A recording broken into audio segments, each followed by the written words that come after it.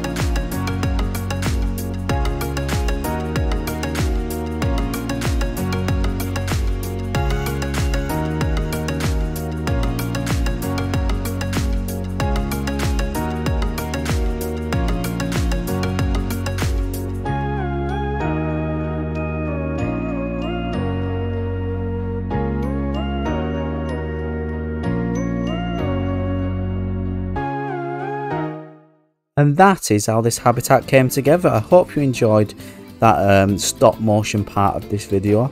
I'm going to take you on a little bit of a tour because you've seen pretty much any, everything anyway. Show you our meerkats. They are in. Our guests are on the way to view them as well. Everything's complete. I did add a little bit of um, a little bit of detailing, as you can see from what you're looking at now. The habitat stuff, what the meerkats need, are in all the enrichment items including this little water jet here which is an enrichment item but I just covered it up with a little um, pole to match the same colour poles rods should I say that we've been using all the way around the habitat keeping with the same theme. As you can see here I've, I've made like an extra fence as well so any any of the little kids or adults to be honest with you can't fall in and definitely our meerkats can't go for a little swim and then try jumping out so the reason behind this habitat now obviously it's a habitat I've been wanting to build for a long time. The meerkat is an animal I've wanted in the game for a long time and now with the African DLC it is in the game. Hope you got the code by the way. Remember DM me Twitter Discord for your chance to win a copy of the new DLC but yeah, I've been wanting to make a habitat for the meerkat for a long time. I did ut utilize some of the new items, um, but not a lot to be honest with you. So this barrier what I created here, so um, you know, to give it that more realistic feel, to, so that people cannot fall in, or if, at least they do fall in, they won't end up in the water. Um, that's actually from the new DLC, as well as these little meerkat statue type decals, and we'll go around the side and all this on the end these are also these pieces are also for um, the pillars the stone pillars from the new DLC as well. We've got an education board here. We've got a little window so we can actually view them while they are sleeping in there. And again some more pieces from the new DLC here just adding more detail. And by the way this path guys and girls don't know about you. Let me know what you think in the comment section below but this path is amazing. This is my favourite Planet Zoo path so far. Look, it's so different and so vibrant and so colourful. I love it. Anyway, moving on. Let's have a look at our meerkat, shall we? So we've got two in at the moment. We've also got two on the way as well. One's just had a little poo, like they always do. Every time I want to watch an animal in this game, it sometimes um, likes to have a poo. Uh, so we've got the tall grass for one. We've got, again, the enrichment items. We've got this foliage over here. And we've got our, um, our, our bars going all the way around, keeping with the same theme. I added one of the new doors out the DLC pack here and again on the inside.